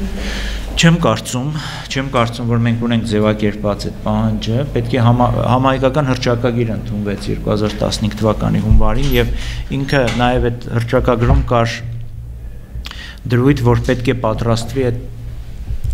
թղթածր ոնց է փաթեթն էին ասում, թե թղթածրարն էին ասում հայ ցեղասպանության պահանջների, բայց ես ճիշտն ասած չկան չեմ էլ լսել, որ դրան վերաբերյալ ինչ-որ աշխատանք տարվի։ Այսինքն դա շատ դեկլարատիվ ինչ-որ մի բան էր։ Միգուցե 15 թվին ինչ-որ աշխատանք տարվեց, բայց հետո այդպես էլ մնաց, այսինքն մենք մեր պահանջները չենք ձևակերպել։ Միգուցե նաև չենք էլ ուզում ձևակերպել։ Եվ քանի դեռ ինքը անորոշ է, միշտ կարելի է իրեն ցանկացած ձևի օգտագործել եւ վերջո քաղաքականությունն է քաղաքականության մեջ դա քաղաքականությունը շատ դեպքերում ձերքերի ազատություն է սիրում եւ դրա համար հստակ ձևակերպում չենք ուզում տանք բայց ի վերջո ճիշտ եք ասում պիտի մենք հասկանանք ինչ ենք ուզում որն է մեր այդ վերջնանպատակը որն է որտեվ եթե դու վերջնանպատակ չունես աշխատանքը այդ ճանապարհը երբեք ճիշտ ճանապարհ չես գտնի պետք է դրան գնալ ինստիտուտը որոնք ունեն ուսումնասիրություն ոչ միայն ասենք թե մարդկային ծովերի մասին, այլ նաև ուրիշ կորուստների մասին, այդ թվում ֆինանսական տարածքային։ Տեսեք, ցեղասպանության թանգարանը չէ, բայց ես գիտեմ որ տնտեսագիտական համասարաններ նման չէ տնտեսագիտության ինստիտուտը ակադեմիային նման հետազոտություններ սկսել եւ մի քանի կազմակերպություններ կան համատեղ հայաստանյան եւ սփյուռքյան որոնք դրանով զբաղվում են եւ կամ նույնիսկ մի քանի զեկույց կա հստակ թվերով նշված թե ինչ չափի փոխհատուցում պետք է պահանջել։ Այսինքն թվեր կան, մի քանի կազմակերպություն դա արել են, այսինքն տեսականորեն նույնիսկ եթե վաղը մեզանից հաշիվ պահանջեն ասեն, լավ, ինչքան պետքա ձեզ վճարի, որ հարցը փակվի, կան թվեր, այսինքն հաշվարկներ կան արված եւ այսինքն հաշվարկել են այն կուրսով, որը տեսեք 18 թվականին առաջ աշխարհամարտի ավարտից հետո գումարվեց Փարիզի խաղաղության կոնֆերանսը եւ 19 թվականին գումարվեց կոնֆերանսը եւ հայերը պատվիրակություն ուղարկեցին։ Այդ պատվիրակությունը ուներ հաշվարկը արված եւ այսօրվա մեր հաշվարկները մեծապես հիմնված են դրա վրա եւ դրանից բխող այսպես կոչված չստացված օգուտը, որովհետեւ այդ տարիներ շարունակ այդ ամեն ինչը կարող էր օգուտ բերել եւ չբերել։ Եվ գիտեմ որ հաշվարկ կա, հիմա չեմ հիշի հստակ թիվը, բայց կա հաշվարկը հստակ նաև ինֆլյացիան հաշվելով այդ տարիների միլիարդ, հա, շատ, շատ նույնիսկ բանը նույնիսկ ինֆլյացիայով էին հաշվային ժամանակվա կուրսը վերածել էին այսօրվա կուրսին կա նման հաշվարկ էլի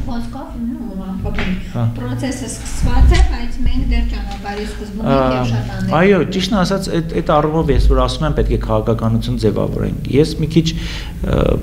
այսօրվա իշխանությունների մոտ пассивություն եմ նկատում այդ։ Ինձ թվում է, որ այդ թեման իրենց հետ կանե չի հետաքրքրում։ Ոչ թե չի հետաքրքրում, սխալ ասցի։ Իրենք չեն հավատում այդ թեմայի ներուժին, որ ինքենքան ներուժ ունի, որ ինք կարելի է օգտագործել որպես գործիք։ Նախկին իշխանությունները օգտագործում էին, բայց նախկին իշխանությունները օգտագործումը մի քիչ ուրիշ երբան ուներ, պատճառ ուներ, իրենք լեգիտիմության պակաս ունեին նախկին իշխանությունները։ Հա, որպես միավորող, որպես իրանց լեգիտիմը բարձությունը բարձրացնող թեմա շատ լավ օգտագործում էին միշտ քրիտիկական պահերին այդ թեման նետվում էր դաշտ, այդ թեման քննարկվում էր եւ ներկայ իշխանությունները չունեն լեգիտիմության պահակաս։ Իրենք ստացել են իրենց քվեները ազնիվ մակուր ընտրություններում եւ իրենք լեգիտիմությունը լրացրել են ընտրությունների միջոցով։ Եվ այդ առումով կարծում եմ, որ թեման դրա համար դեռ ձևակերպված չի, չգիտեմ, վարչապետի մոտ, իշ թիմի մոտ, եւ այդ ամբողջ քաղաքականությունը, որ մենք այսօր տանում ենք, դա իներցիոն նախկինից եկած արտգործնախարարության իրականացրած քաղաքականությունն է։ Նույն արտգործնախարարությունը այն ժամանակ ինչ արել է, հիմա ուղղակի շարունակում է, քանի որ փորձ ունի, մասնագետներ ունի եւ այսինքն աշխատանք արդեն արված, շարունակվում է այդ աշխատանքը, բայց նոր լուծումներ ես ամենայն դեպս չեմ նկատում։ Ձեզ շնորհակալություն։ Ձեզ շնորհակալություն։ Ահ, ես ժամը վերջացրիք, շատ լավ է։ Չէ, Կոստյան։ Չէ, չէ, հաջողություն ասեի, գնայս։ Ես կփոխանցեմ իրական։ Շնորհակալություն ձեզ։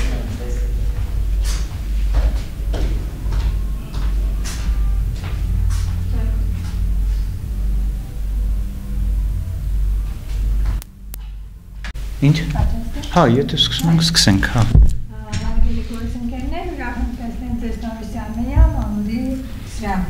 Այսօր ցեղասպանագետը կխոսի ԱՄՆ-ի ներկայացուցիչների պալատի հայերի ցեղասպանությանը վերաբերող բանաձևի ընդունման հետևանքների մասին։ Շնորհակալություն ունեցեք։ Շնորհակալություն։ Շնորհակալություն հրավերի համար շատ բան է ասվել 3 ամբողջ օրը, 3 նախորդ գիշերվանից, չէ՞ մենք բոլորս շատ ուշադրությամբ հետևում էինք իրադարձություններին եւ և թվում է թե չի մնաց այդ թեման, որի մասին խոսացած չնեն եւ ասած չնեն։ Ես իմ սեփական մտորումները այս փաստաթղթի վերաբերյալ հայտնեմ։ Նախ պետք է նկատենք, որ մեր հասարակությունը կիսվել է երկու մասի այս փաստաթղթի վերաբերյալ։ Մի մասը պնդում է, որ շատ մի մասը գերագնահատում է, մյուս մասը թերագնահատում է այդ փաստադուխտը, բայց ես կարծում եմ, որ այս այդ դեպքերից մեկն է, որ ճշմարտությունը արանք մեջտեղն մեջտեղն է, սա ոչ եզակի փաստաթուղթ է, որովհետև մենք նման փաստաթուղթ ունեցել ենք 1975 թվականին եւ 1984 թվականին երկու անգամ եւ և Միաժամանակ պետք է նաև թերագնահատել, որովհետև ի համեմատություն նախորդ երկու փաստաթղթերի սա ավելի ամբողջական է, սա տեքստային առումով շատ ավելի մեծ է, ծավալով շատ ավելի մեծ է եւ շատ ավելի մեծ թվով թեմաներ է ընդգրկում։ Եթե համեմատում ենք նախորդ երկու բանաձևերի հետ, տեսնում ենք, որ կամ մի թեմա մնացել է նույնը, դա այն է, որ Ամերիկայի Միացյալ Նահանգները ճանաչում են հայոց ցեղասպանությունը եւ ոգեկոչում են այն։ Իսկ երեք փաստաթղթերում է այդ կետը կա իսկ երկու նոր կետերը, որոնք ավելացել են այս բանաձևում, շատ հետաքրքիր են, շատ կարևոր են եւ արտացոլում են այն զարգացումներ, որ տեղի ունեցել վերջի տարիներին, վերջի 10 ու 30 տարի անց է նախորդ փաստաթղթից ընդունումից։ Նախ երկրորդ կետով ասում է, որ Միացյալ Նահանգները այլևս չի ներգրավելու ժխտողական քաղաքականության մեջ եւ ոչ մի ձևով չի առնչվելու ժխտողականության հետ, հայոց ցեղասպանության ժխտողականության, կարծում եմ շատ կարևոր փաստ շատ կարևոր դրույթ է, որովհետեւ Միացյալ Նահանգներում ցավոք սրտի խոսքի ազատությունը շարքելով եւ խոսքի ազատությունը միշտ պատճառաբանելով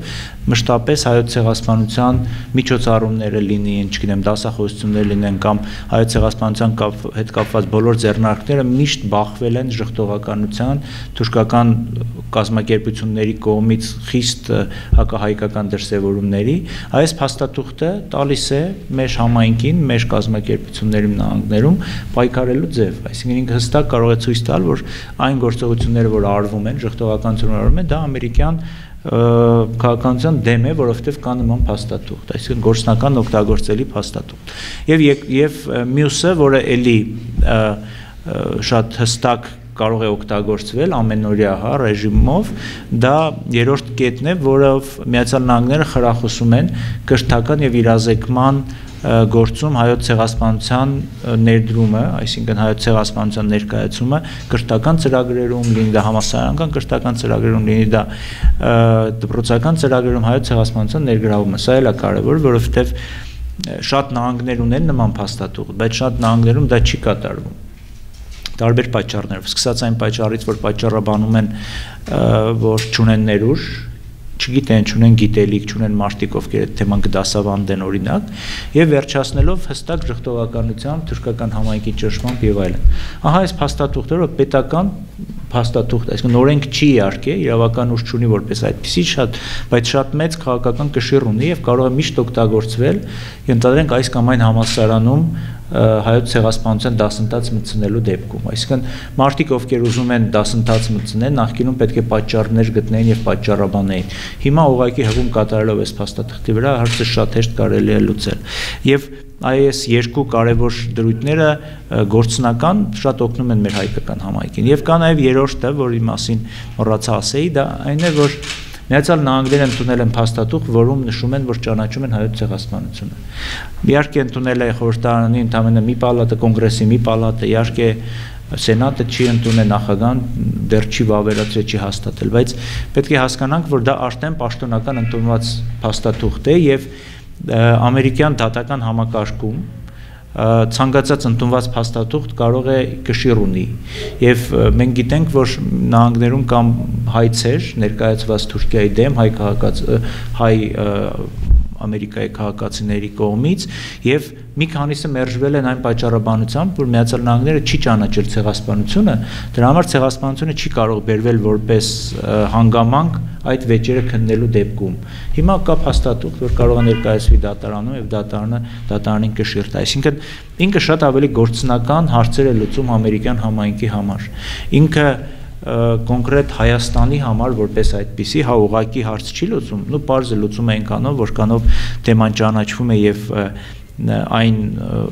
նրա իրազեկումը բարձրանում է եւ դրանով նաեւ մենք մեր ազգային անվտանգության հարցեր ենք լուծում, բայց ինքը ուզում եմ նշեմ, որ ինքը զուտ ամերիկյան փաստաթուղթ է, ամերիկյան ներքին օգտագործման փաստաթուղթ է։ Եվ մի կարևոր տարբերություն ինքը ունի շատ այլ փաստաթ ճանաչման փաստաթղթերից։ Եթե նախքին, եթե շատ երկրներում նման փաստաթուղթ ընդունելու դեպքում մեծապես, ну շատերի մեջ կա հղում կոչ Հայաստանին եւ Թուրքիային հարաբերությունները բարելավել, այսինքն այս խնդիրները լուծել եւ այլն, սրանում ոչ մի հիշատակում Թուրքիայի չկա, այսինքն ինքը եւ Էրդողանի պատասխանը, որ երեք հնչեց, որ ասաց, որ Թուրքիայի համար այս փաստաթուղթը նշանակություն չունի եւ մենք չենք պատրաստում այն կիրառենք, իմ համար զարմանալի էր, չէ, զգայական համակարգով հասկանալի էր, բայց զարմանալի էր, որովհետեւ այս փաստաթուղթը չի նախատեսում։ Դա զուտ ներամերիկյան փաստաթուղթ է դա նրա այն բանի մասին ինչ դա կբերի Հայաստանին եւ ինչ ինչ կբերի հայերին միացյալ նահանգներին ինչ կբերի Հայաստանին Հայաստանի համար ցանկացած մի առիթ հայոց ցեղասպանությունը բարձրաձայնելու ցանկացած առիթ հայոց ցեղասպանությունը միջազգային մամուլի կամ միջազգային հանրության լսելի դարձնելը դա շատ կարևոր է ազգային անվտանգության տեսակետից որովհետև ամեն անգամ այդ թեման շրջանառելով մենք ավելի ապահովագրում ենք մեզ նման մեր հարևանի կողմից կոշտ քաղաքականությունից որովհետև դա այն գործիքն է որը իհարկե տվյալ դեպքում մենք չենք օգտագործում օգտագործում է Միացյալ Նահանգները իր շահերի համար, բայց այնուամենայնիվ դա ուղղորդված ձևով նաև օգնում է մեզ, օգնում է թեման տակ բայել, օգնում է թեման շրջանառել։ Եվ սրա հետ կապված նաև մի բան, որ մի տեսակ տպավորություն էր ստեղծվում, թե թեման դուրս է եկել միջազգային քաղաքական ասպարեզից, որտեղ բավականին երկար ժամանակ 2015 թվականից հետո մենք ունեցանք մեկ մեծ ձեռքբերում, դա Գերմանիայի ճանաչումն էր 2016 թվականին, բայց դրանից հետո մի տեսակ թեման երկրորդ պլան մղվեց։ Այսինքն համաշխարհային քաղաքականության թիվ 1 թեմաներից չէր, այս եւ այս առումով կար մտավախություն, որ միգուցե այդ 100-րդ տարելիցի բերած այդ մեծ ալիքը համաշխարհային ալիքը ինքը մարել է եւ այլևս թեման ոչ մեկին հետաքրքիր չի։ Այս ամերիկյան բանաձևը նորից թեման բերում է միջազգային օրակարգ, իսկ միջազգային օրակարգում գտնվելով մենք իրան մենք միշտ կարող ենք այն օգտագործել։ Բարի շահերի մասին չկա մտավախություն, որ դա ուղղակի կլինի հերթական ճնշման փորձ եւ ի վերջո այդ բանաձևը չի քվեարկվի սենատում եւ չի Այո։ Այո, նո մտավախություն չի, դա իրականություն է։ Ելույթ ունեցող մեծ մասը կոնգրես ներկայացուցիչների պալատի ներկայացուցիչների իրենք չէին այդ հակցնում, իրենք ասում էին, որ միշտ բերում էին օրինակ Սիրիան, բերում էին օրինակ քրդերի նկատմամբ վերաբերմունքը եւ նշում էին, որ սա ոչ լոյալ, ոչ բարյացակամ դաշնակցի հետ հարցեր լուծելու թեմա է։ Այսինքն, այստեղ այո, այո, օգտագործվում է եւ իհարկե կային նաեւ խոսքեր, որոնք չգիտեմ, մարտիկ, որոնք հիշում էին իրենց ծանոթ հայերին, իրենց արմատները եւ այլն, բայց ի վերջո ամբողջ այդ կարմիր թելով անցնում էր Սիրիան, անցնում էին ամերիկան արտաքին քաղաքականությունը, անցնում էր ամերիկա-թուրքական հարաբերությունները։ Սա Այո, այո, նույն օրը եւ փաստորեն ստացվեց, որ Միացյալ Նահանգները պատժում են Թուրքիային եւ այդ պատժելու այդ մեծ զինանոցից իրանք ընտրել են այդ երկու խաղակարտը, որը դնում են սեղանին։ Մեկը դա պատժամիջոցներն է տնտեսական, մյուսը դա հայոց ցեղասպանության ճանաչման վանաձևը ներկայացուցիչների պալատում։ Եվ գիտեք, իրողություն է, մենք չենք կարող դրանից փախնենք կամ չընդունենք եւ ես միշտ շեշտում եմ, որ հայոց ցեղասպանության ճանաչման կոնցեպցիան, այսինքն երևույթը, ճանաչում երևույթը ինքը իր սեփական կյանքով ապրող մի ֆենոմեն է, երևույթ է։ Այսինքն ինքը շատ դեպքերում ոչ Հայաստանի հետ կապ ունի, ինքը ոչ նույնիսկ հայոց ցեղասպան, հայոց ցեղասպանության հետ կապ ունի։ Հայոց ցեղասպանություն ճանաչում երևույթը ինքը միջազգային քաղաքականության շատ կարևոր գործոններից մեկ է։ Մեկն է, ինչպես օրինակ, չգիտեմ, ահաբեկչության դեմ պայքարը կամ դեմոկրատիայի տարածման կոնցեպցիան, չէ՞։ Էլի Միացյալ Նահանգները տարբեր երկրներում օգտագործում է։ Միտեղ օգտագործում է դեմոկրատիայի տարածում, միտեղ օգտագործում է ահաբեկչության դեմ պայքար, միտեղ օգտագործում է հայոց ցեղասպանության ճանաչում։ Եվ ինչ անենք մենք։ Մենք իրականում այդքան է շատ անելու բան չունենք, որովհետև մեզ ոչ ոք չի հարցնում, մենք սա կարող ենք օգտագործենք թե չէ, եւ դա մեր վերահսկողությունից դուրս է եկել։ Բայց այ օգտագործել հարմար առիթը եւ այս միջազգային բարենպաստ կոնյունկտուրան նաեւ այդ արանքում, հա, այդ միջոցում նաև մեր հարցերը լուծելու միշտ կարող ենք, որովհետև տեսեք փաստաթուղթը ընդունվեց, չէ ներկայացուցիչների պալատում։ Եթե նույնիսկ սենատում փաստաթուղթ չընդունվի, հա, իմիջիայլոց սենատում քննարկվում է այլ փաստաթուղթ։ Այս փաստաթուղթը իր վերջնական նպատակը այստեղ ընդունվելն էր, այսինքն այլևս չի գնալու սենատ։ Սա վերջն է այս փաստաթղթի եւ շատ լավ է իմիջիայլոց։ Սա, գիտեք, ամերիկյան իրավական համակարգը այսպես է աշխատում։ Այս փաստաթուղթը չի կարող չեղարկվել։ Ինքը արդեն կա եւ կմնա պատմության մեջ։ Այո, ինքը մնում է որպես ընդունված փաստաթուղթ։ Սենատում մենք առաջարկում ենք ուրիշ փաստաթուղթ, որը ուրիշ բովանդակություն ունի։ Ես ճիշտ ասած չեմ հավատում սենատի ընդունվելու հետ կապված, նաև այնտեղ կա պրոցեդուրային տարբերություն։ Եթե այս դեպքում պահանջվում էր մեծամասնություն քվեարկության, որը հնարավոր եղավ հասնել, սենատում պահանջվում սենատում քվեարկությունը մի քիչ ուրիշ է։ Սենատում ամեն մի падգամավոր ունի վետոյի իրավունք այդ 100 սենա 100 սենատորներից յուրաքանչյուրը կարող է վետո դնի։ Այսինքն հավներ պիտի Այո, կամ գոնե դեմ չկվերքեն կամ վետո չդնեն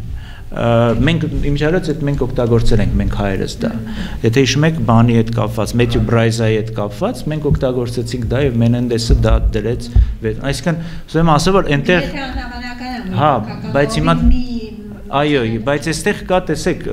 ասում ենք անհավանական, բայց թվերն էին տպավորի 405-11-ի, որը հիմա տեղի ունեցավ, դա ցույց է տալիս այն վերաբերմունքը, որ ամերիկյան էլիտայի մոտ կա Թուրքիայի նկատմամբ։ Այդ 405-ի մեջ կան մարդիկ, որոնք տարիներ շարունակ սնվեև կերակրվել են թուրքական լոբիի միջոցով։ Գումարներ են ստացել, Թուրքիային գնացել, բայց հիմա ըստ երևույթի քաղաքական հրամայականը հենց պետական, համապետական այնպես է, որ իրենք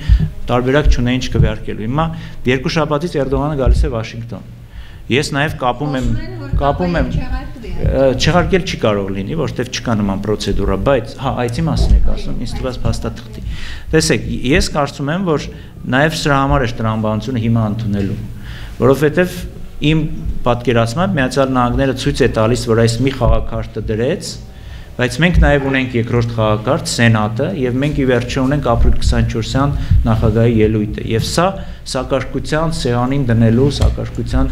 բաներից մեկն է իմ պատկերացմամբ համենայն դեպս եւ այդ առումով մենք մեծ գլոբալ խաղի մաս ենք դարձել, դառնում եւ ելի եմ կրկնում ուզենք թե չուզենք մեր դուրը կա դա կամ գա թե չգա, դա է աշխարհը եւ պետք է դրա հետ համակերպվենք եւ դրա հետ կապված մեծ խաղի հետ կապված մի հետաշքիր բան եք ուզենամ նշեմ երկու խոշորագույն հրեական կազմակերպություններ սատարեցին միջև ընդունումը եւ հակադեֆամացիոն լիգան սատարեց եւ հրեական կոնգրես հրեական կոմիտեն կազմակերպությունը բան արեցին, սատարեցին, որ էլի հետաքրքիր ազդակներ են, մեսիջներ են, որ մեզ գալիս է այդ ամերիկյան վերնախավից։ Եւ ես կարծում եմ, որ այդ դա այդ մեսիջները կարող են շատ լավ օգտագործվեն այսօրվա Հայաստանի ղեկավարության կողմից, որովհետեւ եկեք եկենք ընդունենք, որ Հայաստանի նոր ղեկավարությունը Եվ նաև նախորդ ղեկավարության այդ վերջի շրջանում ամերիկյան քաղաքական օրակարգ չունեին, չկար։ Հայ-ամերիկյան քաղաքական օրակարգ գոյություն չունի։ Դրա համար պատահական չի, որ ոչ մի բարձրաստիճան պետական պաշտոնյա չի հանդիպում ԱՄՆ-ի նախագահի կամ փոխնախագահի հետ նման ներկայացական այցեր չեն կատարվում, որովհետև վերջին հաշվով գնան ինչի մասին խոսեն, եթե չկա օրակարգ, հարցեր չունենք քննարկելու։ Եվ ես կարծում եմ, որ այս 405-ով կողմ քվեարկելը ցույց է տալիս, որ մենք կարող հիմա կարող ենք հետաքրքիր լինենք Միացյալ Նահանգների համար եւ միգուցե հիմա հենց այն ժամանակն է, որ մենք կարող ենք ձևակերպենք մեր օրակարգը եւ ներկայացնենք նահանգներին գոնե բանակցելու ինչ որ հարցերի շուրջ։ Դա կարող է լինի տնտեսական հարցեր, դա կարող է լինել, չգիտեմ, միգուցե ռազմական համագործակցության ինչ որ հարցեր, բայց կարծում եմ, որ ֆոնը լավն է, որը կարելի է օգտագործել եւ կարող են օգտագործեն այսօրվա իշխանությունները։ Պատկերացնենք լավագույն դեպքում, եթե սենատը ընդունեց բանաձևը, նախագահան ստորագրեց, ինչ կտա դա հայերին եւ Հայաստանին բացի բարոյական։ Դա կտա մեծ ճնշում Թուրքիայի վրա, շատ մեծ ճնշում Թուրքիայի վրա եւ Միացյալ Նահանգների ճանաչումը ամենայն հավանականությամբ իր հետ կբերի նաեւ իր հիմնական դաշնակիցների վերաբերմունքի փոփոխություն։ Իսրայել լինի, Մեծ Բրիտանիայի լինի, այսինքն ամբողջությամբ կփոխվի հայոց ցեղասպանության նկատմամբ վերաբերմունքը, որը շատ կարևոր է, որովհետեւ ես ամենասկզբից խոսեցի խոսակցության մեջ շեշտեցի, որ թուրքական ժողովականությունը փոխվում է եւ դառնում է վտանգավոր։ Եթե մի 10 տարի առաջ սրանից իրենք փորձում էին ժողովականությունը կառուցել մեղմ ժողտման վրա, այսպես ասած, նո ընդհանուր ցավի կոնցեպցիա էին առաջարկում, առաջարկում էին, որ համատեղ ողբերգություն է եւ թուրքեր են մահացել եւ հայեր են մահացել։ Նույնիսկ նույն համայնքին ցավակցություններ էր հայտնում նախագահան, Թուրքիայի ժամանակվա վարչապետը, այսօրվա նախագահան, հիմա անցած տարվա ելույթը Էրդողանի ապրիլ 24-ին մոտ շատ ավելի կոշտեր եւ ինքը ուղղակի մեղադրեց հայերին ցեղասպանության մեջ, ասաց որ հայերն են իրականում ցեղացել բանը Թուրքիայի ոչ թե հակառակը։ Եվ այս պարագայում դա մեր համար որպես ժողովրդի դառնում է իրոք ազգային անվտանգության խնդիր եւ մենք դրա համար այդ ճանաչման process-ի ընդլայնումը միշտ ուժեղացնում է մեր դիրքերը աշխարհում մեկ եւ մենք կարողանում ենք այդ մեր ազգային անվտանգության խնդիրը լուծենք։ Ու նաեւ ազգային անվտանգության մասին որ խոսեցի, ես ելի մի քանի տեղ դա շեշտել եմ, որ հիմա կարևոր հրամայականներից մեկն է Հայաստանի ի վերջո ձևակերպել ազգային անվտանգության նոր ռազմավարությունը 10 տարուց ավել մենք այն չունենք եւ մենք այսօր ապրում ենք 10 տարի առաջվա ռազմավարության տրամաբանությամբ, որը նորմալ չի պետության համար եւ այս նոր ռազմավարական այս ազգային ազգային անվտանգության հայեցակարգում պետք է հստակ ձևակերպենք ինչ ենք ուզում մենք ցեղասպանության ճանաչման առումով եւ այդ այսքան գալով ձեր հարցի պատասխանին ի վերջո լավ մենք որտեղ են սահմանը ինչ ենք մենք պահանջում աշխարից արդյոք ճանաչումը ընդհանրապես բարոյական դաշտում մեզ բավարար է Եթե այո, դա էլ է, դա էլ է ձևակերպելիք, այսինքն մենք կարող ենք դա ձևակերպենք եւ ասենք, սա է մեր խնդիրը։ Ոչ միայն Թուրքիան, ամբողջ աշխարհը, խաղացողները աշխարհի հասկանան մենք ուր ենք գնում։ Եթե մենք ձևակերպում ենք, որ դրանից հետո սկսվելու սկսելու ենք ճանաչումից հետո բանակցություններ փոխհատուցման եւ հարցը ավելի իրավական դաշտ տեղափ, այսինքն պետք է ձևակերպվի։ Այս իշխանությունները դեռ չեն ձևակերպել իրենց տեսլականը հայոց ցեղասպանության ճանաչման առումով։ Որքանով հավանական է, որ Թուրքիան կգնա Գերմանիայի ճանապարհով եւ կընդունի Ես կարծում եմ, որ ներկա իշխանության պարագայում անհնար է, որովհետեւ բացառված է Էրդողանի քաղաքականություն, մանավանդ վերջին տարիների Էրդողանը դա ոչ մի նշույլ հույսի չի թողնում, որ կարող է նման չգիտեմ, քայլի գնա, զիջման գնա, զղջման գնա եւ ի վերջո դա շատ մեծ քաղաքական կամք պահանջող շատ գործող է, շատ մեծ ներուժ, շատ մեծ, որովհետև ի վերջո դա միայն մի խոսք չի, որ կասվի եւ կվերջացվի։ Դա ամբողջ հասարակությանը վերաբերվող մի հարց է, դա մի ինքնությանը վերաբերվող հարց է։ Դա ընդունում է, որ իրենց պապերը եղել են, այսինքն իրենց պետությունը ստեղծվել է ոչրագործների եւ մսերիական մարտահրավերների կողմից։ Իսկ 2023 թվականին իրենք նշելու են այսօրվա Թուրքիայի 100-ամյակը։ Այսինքն արդյոք միջև 100-ամյակ իրանք կուզենան ցնցեն այդ այդ աշճանի իրենց պետությունը։ Ես կարծում եմ, որ գոնե այս տեսանելի ապագայում միջև նոր իշխանության գալը դա հնարավոր չի։ Իսկ հիպոթետիկ պատկերացնենք, որ իշխանության են գալիս այլ ուժեր, Այդ դեպքում միգուցե արդեն հնարավոր կլինի հասկանալ, թե ինչ զիջումների կարելի է գնալ, որտեղ ի վերջո եկեք սա էլ հիշենք, որ հայոց ցեղասպանության թեման Թուրքիայի ներքաղաքական օրակարգ մտավ Էրդողանի հետ։ Էրդողանը երբ որ սրանից մոտ մի քիչ պակաս 20 տարուց առաջ եկավ իշխանության, ինքը թույլատրեց այդ թեմայի քննարկումը, ինչքան էլ զարմանալի չհնչի այսօր, բայց ինքը այն մարդն էր, որ իր օրոք հայոց ցեղասպանության թեման ուսումնասիրելու կամ բարձրաձայնելու համար դադարեցին բանտ նետել։ Միջև է դա անհնար էր, միջև է ցանկացած մի բառ բառակապակցության օգտագործում կարող էր արժանար ազատություն։ Ինքը դա արեց եւ որովհետեւ խնդիր ուներ նախկին ժառանգությանը, նախկին իշխանությունների քաղաքականության հակառակ գնալու խնդիր ուներ, որտեղ նախկին իշխանությունները մի շղթեր են շատ կոշտ եւ ինքը դրանով ուզում էր քաղաքականություն փոխել։ Միգուցե այո, այո, այո, քեմալականության հիմքերը սասանելու համար, միգուցե մյուս իշխանությունն է ուզենա դա նույնպես օգտագործի Էրդողանի դեմ եւ ինչ-որ քայլերի գնան, բայց ճիշտ ասած այսօրվա դասավորվածությունը Թուրքիայի այդքան շատ հույս եւ լավատեսություն չի թողնում։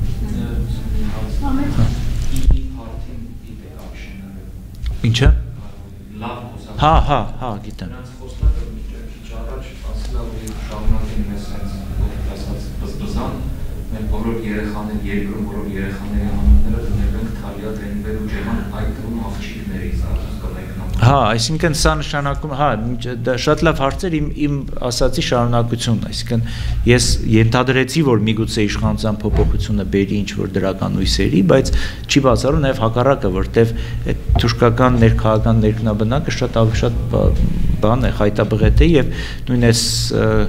լավ, այսպես կոչված լավ կուսակցությունը,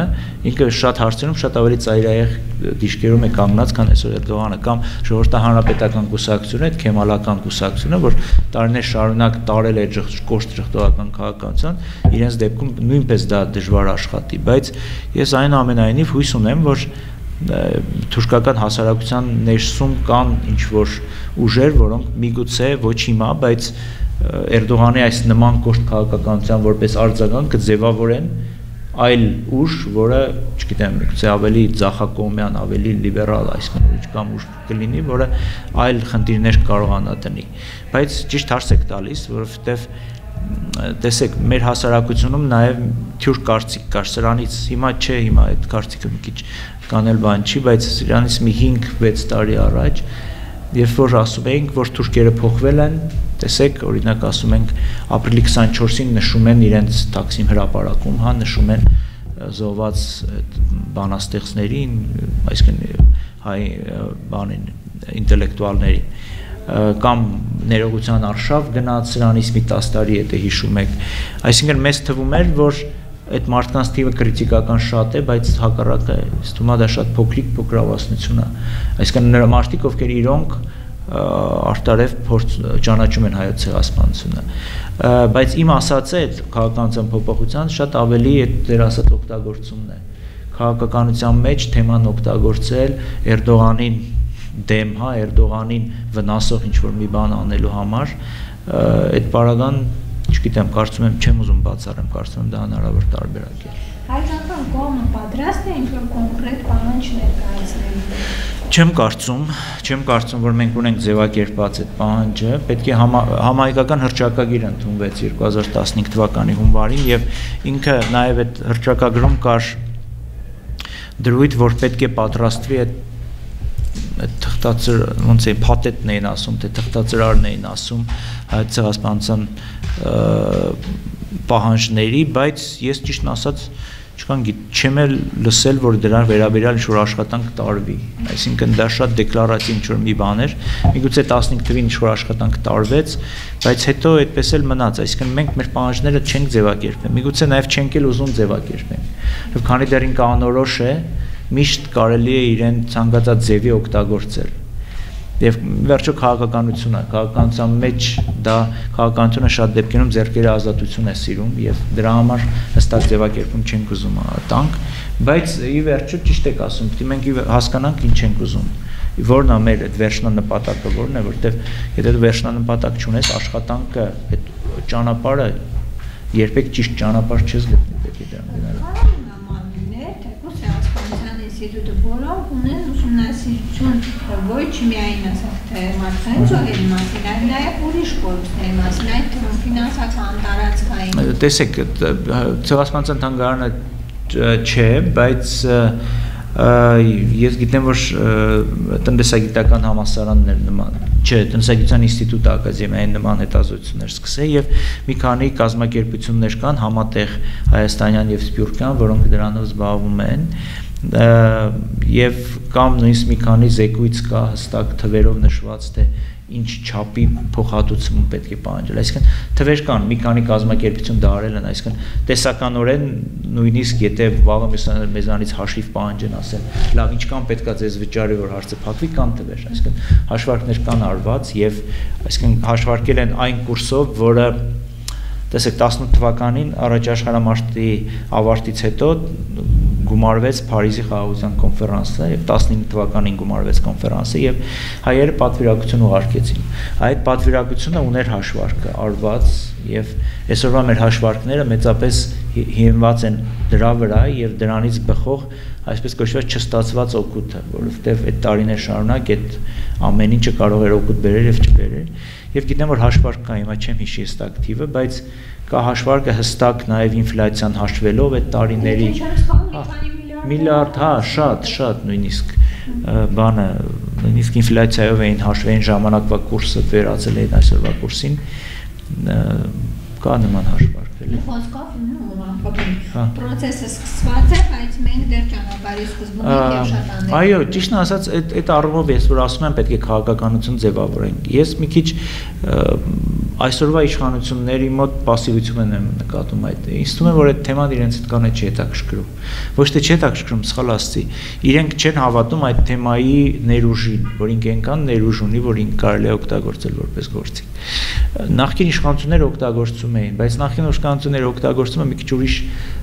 երբան ուներ, պատճառ ուներ, իրենք լեգիտիմության պակաս ունեին նախկին իշխանությունները։ Հա, որպես միավորող, որպես իրանց լեգիտիմը բարձությունը բարձրացնող թեմա շատ լավ օգտագործում էին։ Միշտ քրիտիկական պահերին այդ թեման նետվում էր դաշտ, այդ թեման քննարկվում էր եւ ներկայ իշխանությունները չունեն լեգիտիմության պահակաս։ Իրենք ստացել են իրենց քվեները ազնիվ մակուր ընտրություններում եւ իրենք լեգիտիմությունը լրացրել են ընտրությունների միջոցով։ Եվ այդ առումով կարծում եմ, որ թեման դրա համար դեռ ձևակերպված չի, չգիտեմ, վարչապետի մոտ, իշ թիմի մոտ, եւ այդ ամբողջ քաղաքականությունը, որ մենք այսօր ստանում ենք, դա իներցիոն նախկինից եկած արտգործնախարարության իրականացրած քաղաքականությունն է։ Նույն արտգործնախարարությունը այն ժամանակ ինչ արել է, հիմա ուղղակի շարունակում է, քանի որ փորձ ունի, մասնագետներ ունի եւ այսինքն աշխատանք արդեն արված, շարունակվում է այդ աշխատանքը, բայց նոր լուծումներ ես ամենայն դեպս չեմ նկատում։ Հասկանալի։ Շատ շնորհակալ։ Ձեզ շնորհակալություն